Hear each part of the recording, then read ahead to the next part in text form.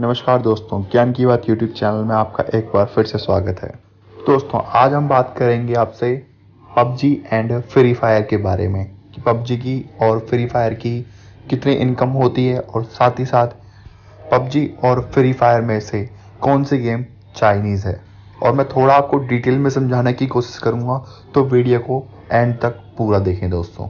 तो दोस्तों, जैसा कि आपको पता ही है, इस वक्त तो पबजी बैन हो चुकी है इंडिया में राइट लेकिन फिर भी इस टाइम पे पबजी लोग खेलते हैं वीपीएन के ज़रिए, क्योंकि लोगों में पबजी का जो एक गेम प्ले खेलने का जो पागलपन है, वो बहुत ज़्यादा हो चुका है।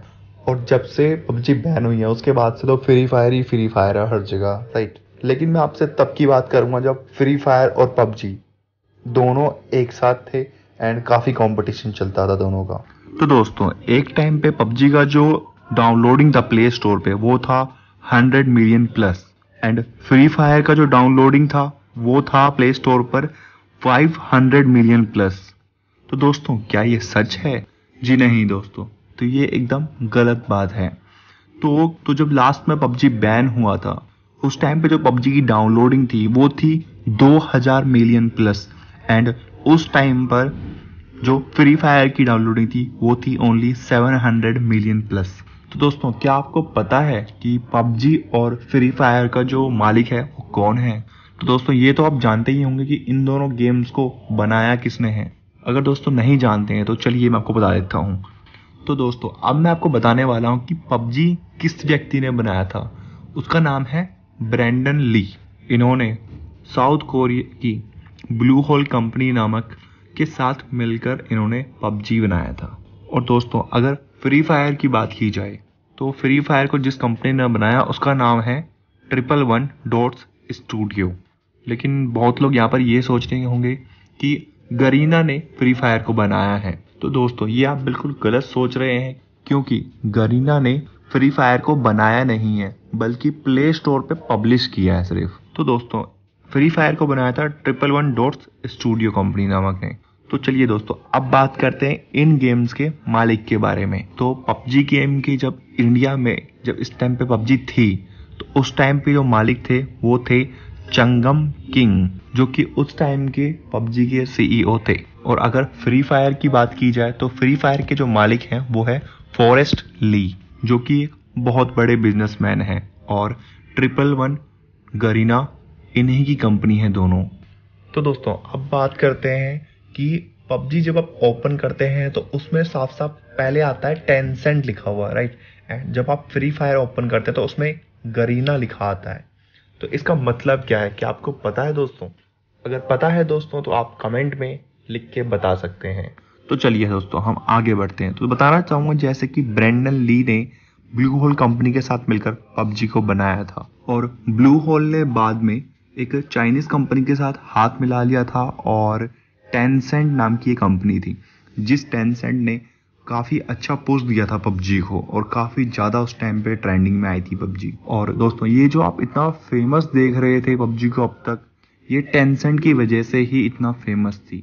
तो दोस्तों टेंसेंट का पबजी में एक बहुत बड़ा योगदान है। और अगर दोस्तों हम यही बात करें फ्री फायर की तो फ्री फायर का जो पूरा नाम है, वो है गरीना फ्री फायर और इस गेम का नाम गरीना फ्री फायर इसलिए है क्योंकि गरीना कंपनी द्वारा ही इस गेम को पब्लिश किया गया है। इसका मतलब ये कि आप लोग जो ये गेम देख रहे हो प्ले स्टोर पर राइट तो इसको गरीना ने ही प्ले स्टोर पर लाया है। क्योंकि दोस्तों, गरीना एक ऐसी कंपनी है जो बड़े से बड़े गेम को हर प्लेटफॉर्म पे पब्लिश करती है।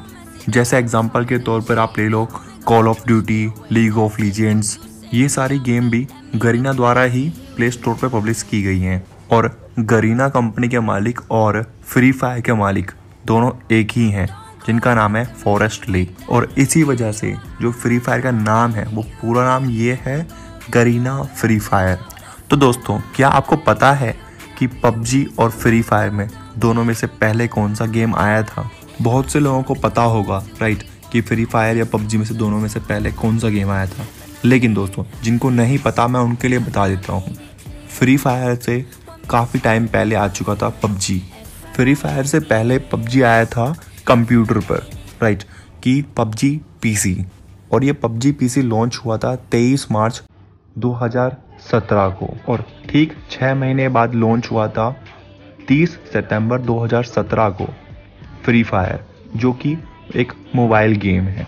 और अगर हम बात करें दोस्तों पबजी मोबाइल की। तो पबजी मोबाइल जो है फ्री फायर के लॉन्च होने के ठीक छः महीने बाद लॉन्च हुआ था 19 मार्च 2018 को। तो दोस्तों, क्या आपको पता है, पबजी और फ्री फायर में इन दोनों गेम में से सबसे ज़्यादा पैसा कौन कमाता था पहले? जिस टाइम पे पबजी इंडिया में था। तो दोस्तों, मैं सिर्फ़ यहाँ पर पबजी मोबाइल की अर्निंग रखूँगा राइट एंड एक तरफ़ फ्री फायर की अर्निंग रखूँगा। मैं एमुलेटर की इसमें अर्निंग नहीं रखूँगा। और इन दोनों को एक दूसरे से कंपेयर करूँगा क्योंकि ये दोनों मोबाइल गेम्स हैं। तो चलिए दोस्तों फाइनली मैं आपको इनकी अर्निंग्स बता देता हूँ। जो पबजी की पर डे की अर्निंग थी राइट वो थी पंद्रह करोड़ रुपए। एंड पर मंथ की जो अर्निंग होती थी, वो थी साढ़े चार सौ करोड़ रुपए, जो कि पर मंथ की आती थी। और पबजी की अगर टोटल रिवेन्यू की बात की जाए तो वो होती है ग्यारह हज़ार करोड़ रुपए। तो दोस्तों, अब बात करते हैं फ्री फायर की अर्निंग की राइट तो फ्री फायर की जो पर डे की अर्निंग होती थी, वो थी साढ़े नौ करोड़ रुपए, जो कि पबजी से कम है। एंड मंथली अगर इनकम की बात की जाए, वो थी दो करोड़ रुपए। एंड टोटल रिवेन्यू की बात की जाए तो वो थी सात हज़ार करोड़ मात्र। और वो इतनी कम इसलिए थी, इसके पीछे का भी मैं आपको रीज़न बता देता हूँ दोस्तों। तो दोस्तों कुछ ऐसा हुआ था कि पबजी जब लॉन्च हुआ था तो वो शुरू के तीन महीने में ही इतना ज़्यादा वायरल हो गया था कि लोग इसको इतना ज़्यादा खेलने लगे थे। लेकिन फ्री फायर के साथ ऐसा कुछ नहीं हुआ। फ्री फायर जब लॉन्च हुआ तो फ्री फायर के आठ नौ महीने बाद ये गेम थोड़ा वायरल हुआ और तब लोग इसे खेलने लगे और फिर भी बहुत कम लोग इसमें पैसा इन्वेस्टमेंट करते थे। लेकिन दोस्तों, अब ऐसा बिल्कुल नहीं है। अब बहुत मैक्सिमम लोग इस गेम में पैसा लगाते हैं। और इसके पीछे का एक कारण और भी है कि जो पबजी का जैसा रॉयल पास होता है, वो बहुत ज़्यादा महँगा होता है अकॉर्डिंग टू फ्री फायर के इलाइट पास से। और इसीलिए लोग फ्री फायर में कम पैसे में अपना काम चला लेने लगे। और जबकि पबजी का जो रॉयल पास है, जो वगैरह वगैरह कॉस्ट्यूम वगैरह है, वो काफ़ी ज़्यादा महँगी होती है राइट लेकिन फिर भी लोगों को इतनी लत लग चुकी थी गेम की, लोग तब भी उसको परचेज़ करते थे। और इसी वजह से कहीं ना कहीं फ्री फायर से पबजी की अर्निंग थोड़ी ज़्यादा थी। तो दोस्तों, आज की वीडियो में बस इतना ही था। अगर आपको वीडियो पसंद आई तो वीडियो को लाइक करें एंड कमेंट करके ज़रूर बताएँ दोस्तों। एंड चैनल को सब्सक्राइब करना ना भूलें दोस्तों। ऐसे ही इंटरेस्टिंग वीडियोस मैं लाता रहता हूँ।